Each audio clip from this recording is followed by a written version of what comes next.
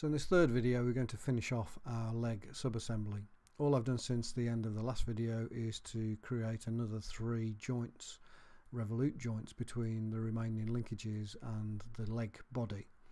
So that's all ready to go now, those linkages are behaving exactly the way they should do.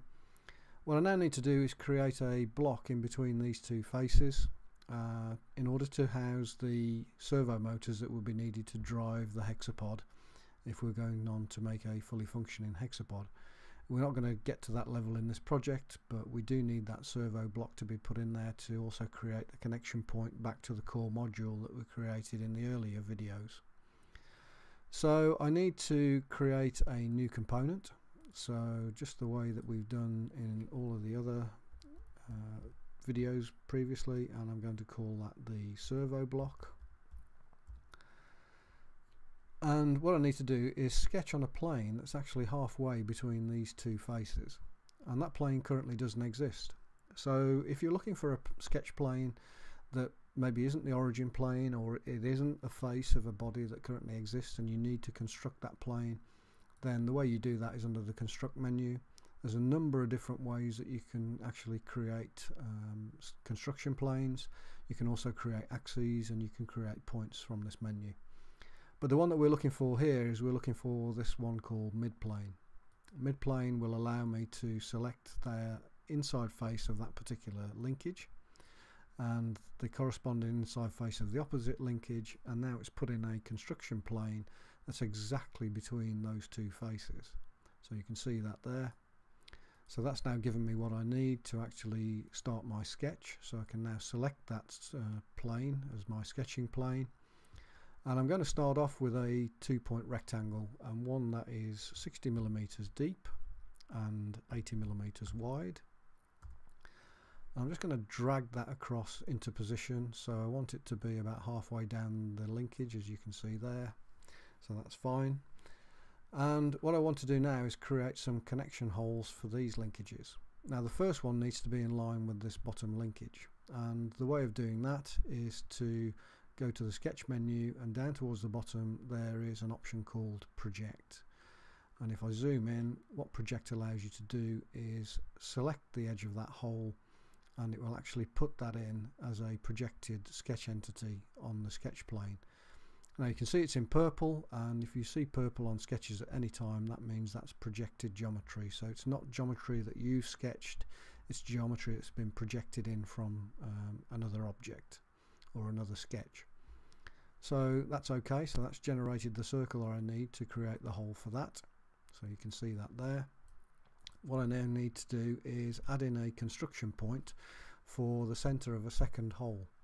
So I'm going to do that the same way as I did before. I'm going to pick the point tool, drop a point in on a sketch, and then go down to the sketch dimension option and click on that point and that point for that projected and make that a 30 millimeter vertical dimension and then go back and do the same for the horizontal. So click on that point and then drag down and that needs to be 20 millimeters.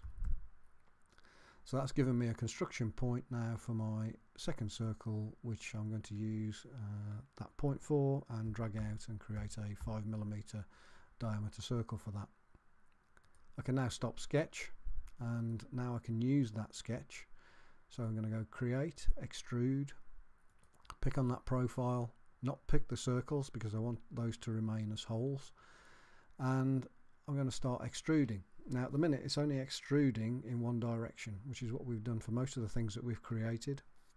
But if I go into the direction option and choose symmetric, it's now going to symmetrically extrude that so the way that I'd push the arrow it's now extruding it in the opposite direction by the same amount as well if I now click on that face of that linkage it actually snaps that extrusion to that face. So when I now click OK I've now got a servo block that's sitting perfectly inside those two linkages.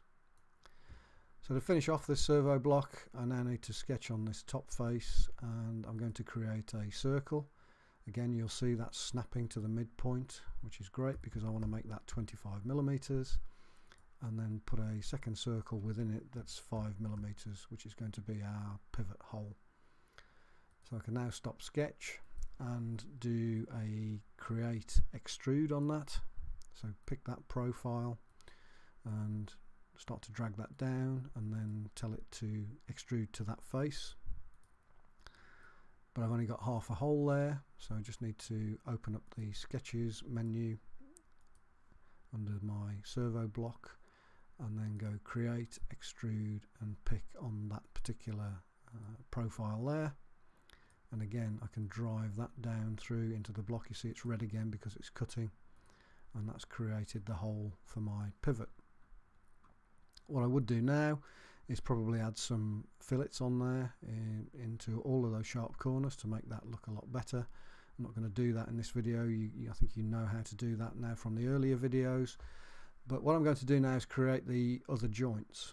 And the first thing I can do is create a joint between this part and the servo block much more easily than I did before. Now the reason for that is because these two are already in the right relationship to each other.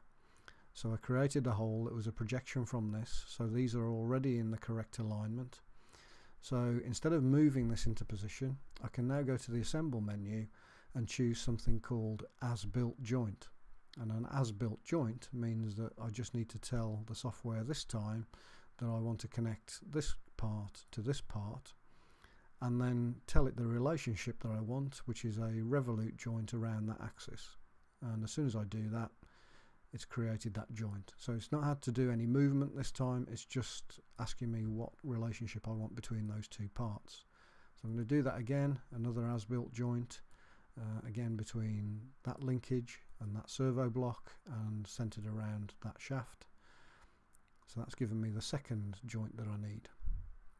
So the difference between an as-built joint and a joint is where in this case I need to move that into alignment with this hole. In this case that alignment already existed. So I need to go back and create the final joints now between uh, these parts. So I want to create a joint between a face on the inside of this uh, linkage now it's difficult to actually pick this because as soon as I try and come off that hole it makes it very difficult to try and pick down at the center of that opposite face. Once I can see the options I've got available there, if I hold down control or command on a Mac then you should be able to lock onto that view and then select that particular feature there. So that's now got that feature at the bottom of that hole. So I can now pick on for the second part of the joint the corresponding feature on the servo block.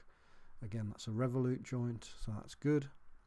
So that's that joint made and I can now go around and do that again on this side. Now I'm just going to move that out the way just so I can see a little better because it was obscuring the hole and I'm going to go to the joint menu again capture position again just rotate around um, pick up on the fact that I want that feature hit control or command and then pick the actual um, corresponding part. I think that just picked the wrong part there. So so that's now picked the correct uh, mating feature.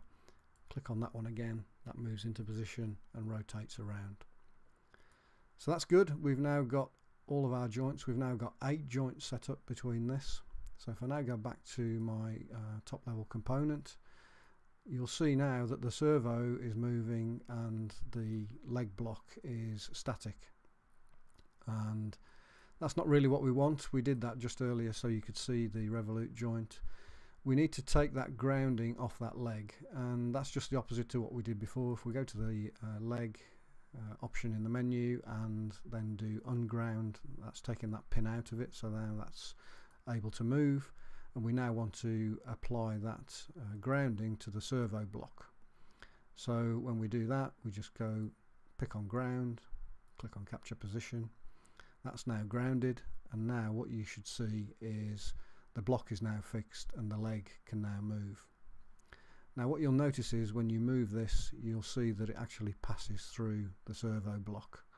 So that's not really very uh, representative of real life. That wouldn't happen in real life but again we can deal that with that really quickly in, uh, in Fusion. Under the assemble menu there's an option called enable contact sets and enable contact sets allows you to set rules that says when parts come into contact with each other they have to stop.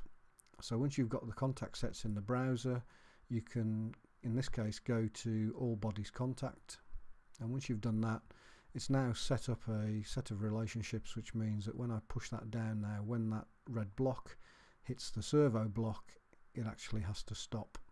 And the same when it goes that way. So now there's there's a proper physical relationship between these two parts and they can no longer pass through each other. So the final thing I want to do now is add the um, final part of the leg to to this block here and I'll need to activate that leg assembly again. So go to the leg. So I'm now just um, creating uh, something on, on around this leg. And what I want to do is use that construction that mid plane again that I created before. So I'm going to create a sketch on that plane. So just capture position.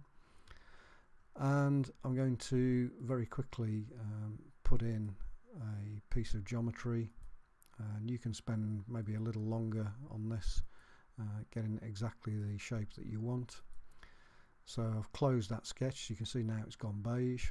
Uh, I can now hit stop sketch. You can see I've got that sat in the center of that that particular leg. And now I can do create extrude and click on that profile. And I'm going to do a symmetric extrusion again just as I did earlier. So I'm now going to pull that in this direction and five maybe six millimeters might be uh, appropriate. So overall that will be 12 millimeters wide. So I now click on OK. So I've now got that leg produced there.